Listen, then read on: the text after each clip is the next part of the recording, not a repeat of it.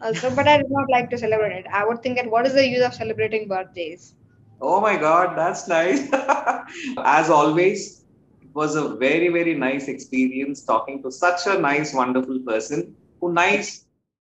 Hello. Hello, sir. Hi, Havisha.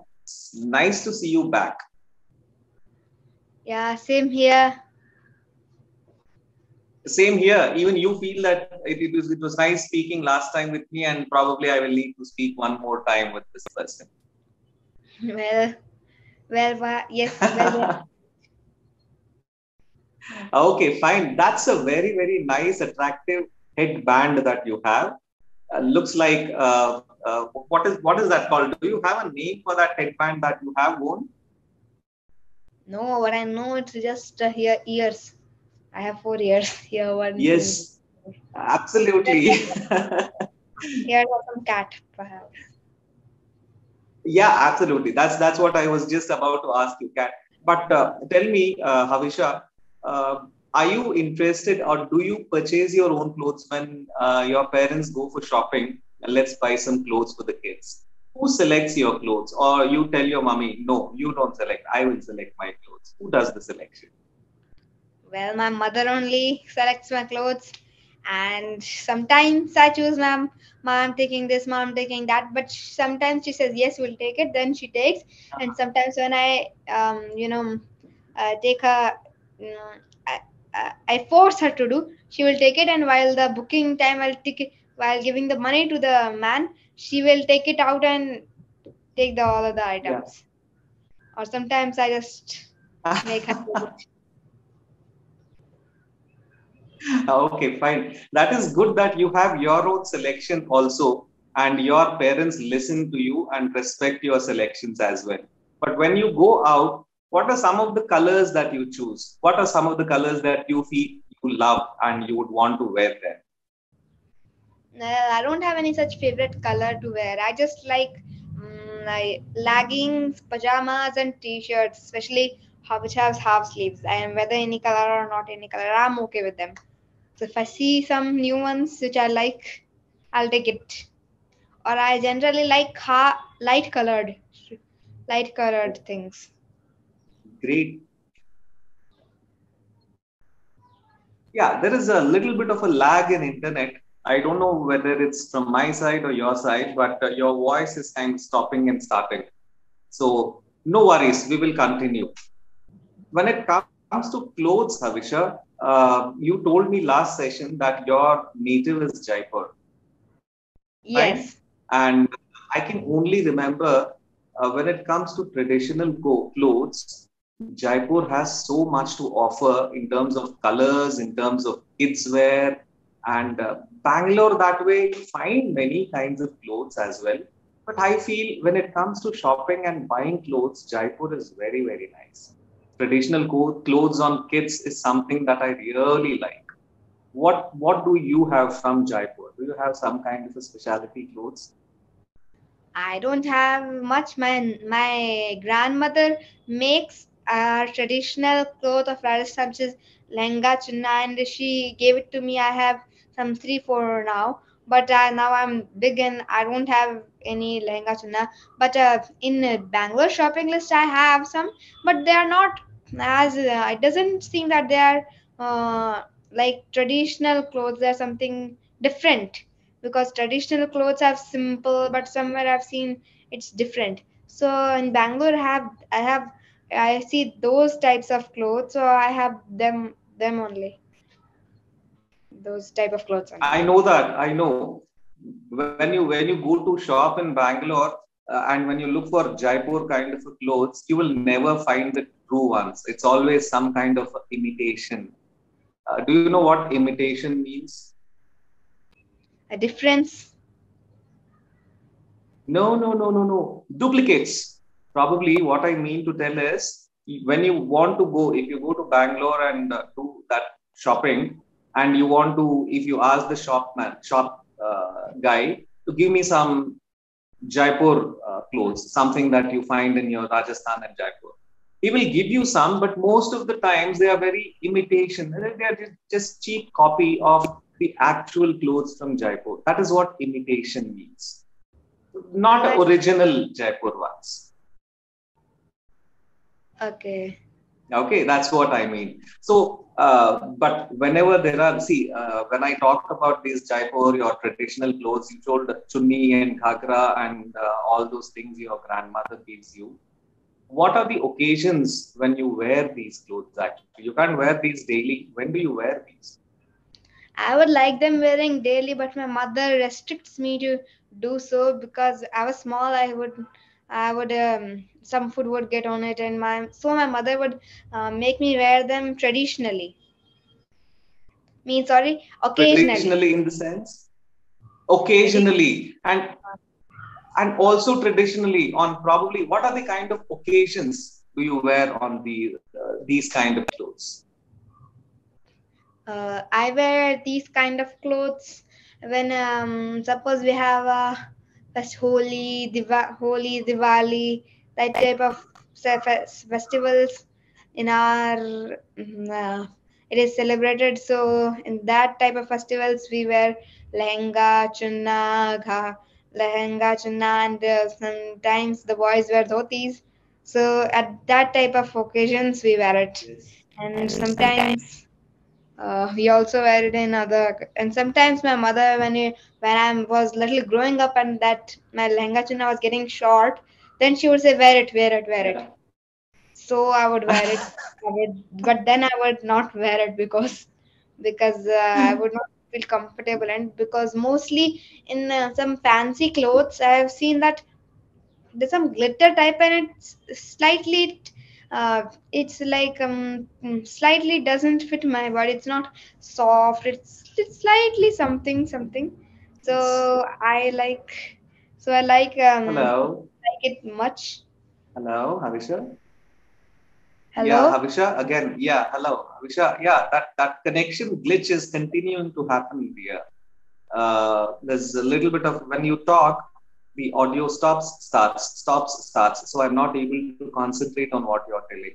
But in fact, when you told that these traditional clothes are very uncomfortable to wear, it kind of uh, kind of pricky from inside, isn't it? it? It pricks your body when you wear it. So that is the reason you just wear it once in a while, also, isn't it? Well, I didn't mean I. Well, probably I did not mean to say that. I meant to say that some frocks which are not much traditional, but lehenga chunna, I like them. I like it. Uh huh. Yeah, Was wonderful. But you know what? Uh, your clothes are might not go waste after it after you outgrow your dresses because you have a sister as well probably she can use your dresses once she comes your age once she comes to your size will you share your clothes with your sister?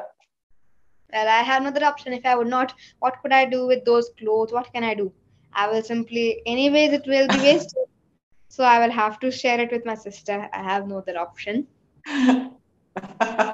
okay, good. Now, uh, you told me, I remember very well last uh, session, you told me you don't like movies. Uh, and uh, you just feel that it's just a waste of time. But you told me in this session that you like to wear clothes on some traditional occasions like festivals and marriage and all that stuff. Now, what are the kind of festivals that you generally like? Well, some religious festivals like Janmashtami and especially Holi and Diwali. Yeah, wonderful festivals. In fact, my favorite festival happens to be Holi. What about you? Janmashtami is also very nice. Deepavali, lots of noise, lots of noise, lots of crackers and everything. Lots of pollution as well sometimes. But Holi is very nice. I enjoy it. What about you? Which one is the one that you enjoy the best? The best? Well, in my place in Bangalore, I like Diwali. I like Diwali. But in Jaipur, I like Holi and Diwali both very much. Okay, fine. Is there a difference between the way uh, Holi is celebrated in Bangalore and Jaipur. Do you find something special happens in Jaipur when it comes to Holi? Yes, when it comes to Holi in uh, Bangalore, when when we come down to play Holi, we won't have much friends and many people to play Holi. We will have some, but whereas in Jaipur, whether we have friend or we don't, it doesn't matter. We have lots of cousins, almost maybe seven or eight people will seven or eight eight children will be there. So we will have Yeah. lots. We can have uh, nice fun, and if when it comes to Diwali, uh, here there here in Bangalore it will it will be celebrated uh, in Diwali. It is no no much need of many people to celebrate. I I feel that only one person is okay, or one or two is okay. Last time when we had Diwali, uh, we Yeah. people came. One of my brother's friend, and and then we did Uh-huh. yeah. So we had fun. So so in Jet so in Okay. so in Bangalore, I like Diwali, but in Jaipur, I like them both because Diwali will also be celebrated nicely, and Holi will also be celebrated nicely. Because uh, when when my father when my when I was in Jaipur, my um, uncle or mamu we say mamu would bring lots of crackers. Almost I would feel like the whole uh, car is filled with crackers and we would enjoy it seeing it and i would run and when i was small i still remember i would run away from the uh, noise of the clack from noise of um, the crackers and uh, my mother who was my brother was too small i would Yeah. run there and talk to her i remember what happened. okay, fine. That's a nice thing. In fact, you mentioned that during one of the Deepavali celebrations, your brother's friend had come over. But last session, you told me that your brother is very young. Uh, what is the age of your brother? he's three year three he's in lkg Oh, he's in LKG and he already has a friend who comes over to your house and celebrates festivals with you. Wow, that's nice. That's nice. He has a friend whose name is Krishna. He lives just above our um, floor and he plays with my brother. He in the park. He generally comes at late evening.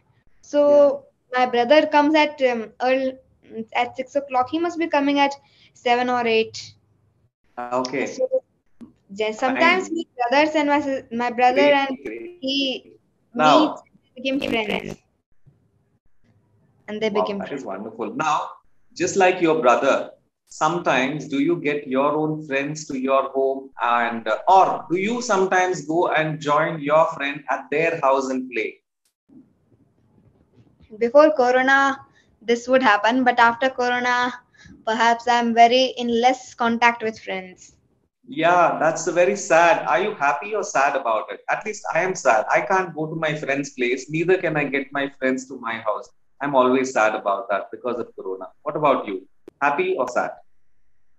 in corona everything changed i could not meet in my friend's house and anyway so i gradually lost the taste of my calling my friend and talking and all so i now i'm not i'm not talking much and nor i have um, too many friends or even i yes i have some i have but Yeah. i'm not in much contact not So in I- much contact. Okay. But you know, Havisha, there is one thing. Corona finally is allowing all the students to go to schools and attend schools in person. Now you don't have to go through that sitting in front of the computer and attending your online classes. So I think very soon you will start meeting your friends, making new friends, and I'm sure you will start liking it as well. Yes, but we came to school. I would not then also I would not talk much to my friend. And now the friend now my one of my best friends has another friend named Uh-huh. Isha. Now she sits with her, but anyways, I have no problem. okay. Generally, when you go to school, uh, when you make friends, who is the first person to talk? Do you go to people and you make friends, or people come to you and they make you their friends? Who is the first person to talk to another person when you're making a friend? I'm not making anyone a friend. I simply, whenever some people sit with me, I simply allow them. They sit with me, they talk Yeah. to me, and simple. I'm not. Don't talk much. I'm, and I am not too harsh, and I'm mm, polite, and I would not talk harshly to them. Sometimes they would say, "Next time, I also I will sit with you." I would say, "No problem. Whoever comes, I'll agree." And Ah, sometimes uh, some other person sits, and sometimes some children I don't like also, but it's okay if they sit with me. I don't mind much. yeah, absolutely. You're a friendly little girl, and you don't mind anybody sitting, and you'll be friends with anybody very easily. That's what I assume you are. That's the kind of person you are. You won't mind being friends with anybody, isn't it? Yes.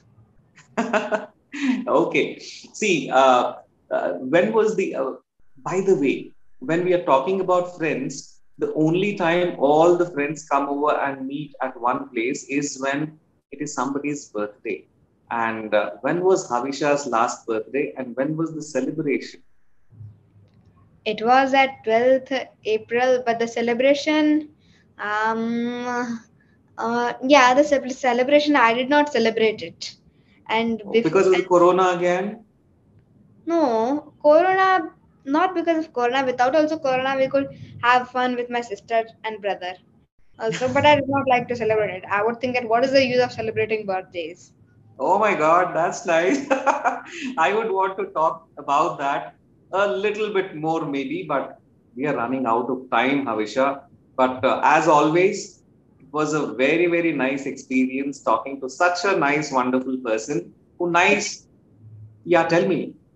Can I ask you one question? Yeah, please do. Uh, behind you, I see uh, lots of books. So, can I ask you what type of profession you have? Are you a teacher? Yes, yes, Havisha, I'm a teacher, but not the regular one. I know you told your friend you're not okay. And tell me what's wrong and why you never said you felt that way. Guess you're trying to stay strong and fake.